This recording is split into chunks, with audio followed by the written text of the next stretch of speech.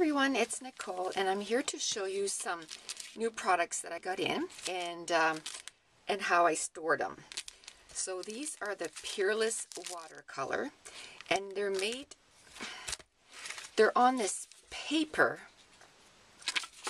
treated paper that they can lay watercolors on it.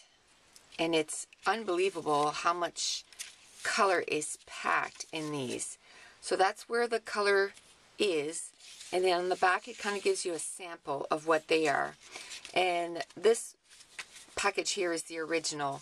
And I believe there's 16 in this one. Just check here.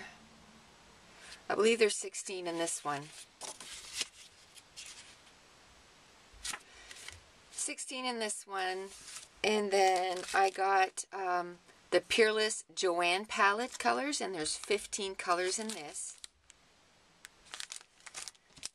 And then I bought them directly from peerless.com, I guess, and uh, peerlesscolor.com. So the bonus pack, instead of a 2x2, I still got the right, you know, the big size, so 2 by 6.5. And then um, there's some that are still full length because uh, I mean I'm gonna I did this really late last night but I'm to double check them but they were in the other packages so they're sort of extras. So I didn't want to make two little sample you know two cards for each one but I'll still double check today to make sure that they are doubles. But basically what I did was I had this binder here forever from Martha Stewart that I got at Staples. And I had these little uh, page protectors in there. And uh, anyway, I had plans for uh, my die cuts, like my dies. And they flop all over the place and I totally don't like it. So really, I haven't been using it. So what I decided to do was I watched a lot of videos on how people keep them and all this stuff. And, and this is the route I decided to go. I cut a piece of just, you know, cardstock that I wasn't using. I think it, the company Scrapbook Sally, which was a Canadian company. I don't even know if they still run anymore. Um, but anyway, I cut this to fit the page protector. So it's five and three quarters by eight and seven eight. And then I took my Tombow Mono multi-glue and I just made some squigglies. So now it's sticky, okay? Now I made a whole bunch of these and I have a whole bunch of paper protectors. And basically the way it's to sit in here, and I'll cut a little further um, and add a video or part of the video to kind of show you what it looks like when it's all done.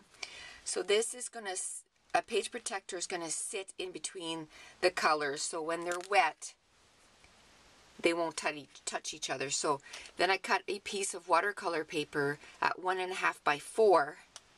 And then now this just sits like this. And I can take it off.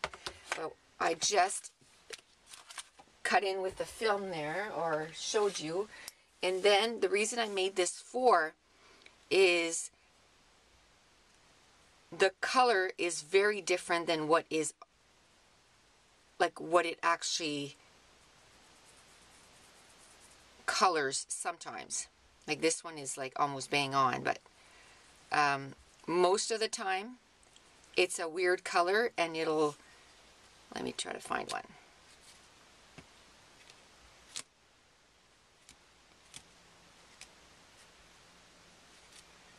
See, this is tea rose pink, and it's kind of got reds and greens. and So you really need a sample to kind of show you how this water watercolor is going to end up. So what I'm going to do now, I have them all cut up. I cut an inch from each of the water of the Peerless. So basically now I know I'm just going to use this little piece until it's totally gone and then the rest of it is safe. I kept them in the in the packaging and I wrote the colors on each of them so if I need to find you know it again so that I can cut it apart and I made sure that I cut on the part that was opposite the name. That way I was going to keep the name for as long as I could. And um, so basically there's a whole, you know, sheet left still. So now I'm going to go and pull some colors for each of these little cards. And then I'll put them in my book in a rainbow, you know, rainbow assortment way. So like I said, once it's all done, I'll just do a little clip on how it looks. So I just thought I would share that with you. Thanks for watching. Bye.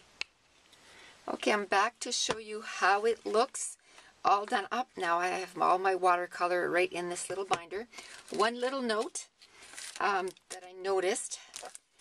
If you get the bonus pack, which is 40 colors, you do not need to get the Joann palette colors because all the colors that are in here are in this, which I didn't realize till I start putting them together.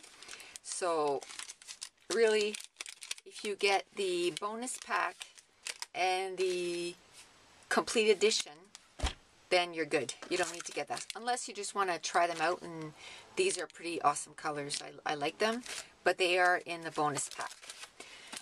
Okay, so this is how it looks.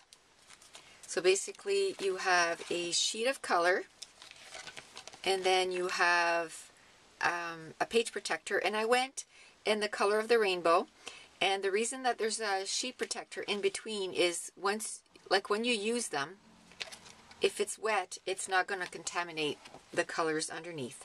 So I have red to pinks to orange to yellows. And then I just kind of stopped the yellows there, and then I started with the greens, and then into the blues, and into the purples, and then I had one extra of um, like earth tones, so I had no choice but to put it there because I was out of page protectors, so really the last one doesn't have a page protector. So, I mean, I'll, I'll just live with it, but um, I wish I had a page protector for here. So I'm, if I go to Staples, I might get another package of um, page protectors so I can put one here. But that's it. I'll probably do like a little cover thing that says, you know, Peerless uh, watercolors on here. And that's it. I really like it. Now I can just, I can use it directly on here. And, or if I find this is too bulky, I can just remove the colors that I want because they come off.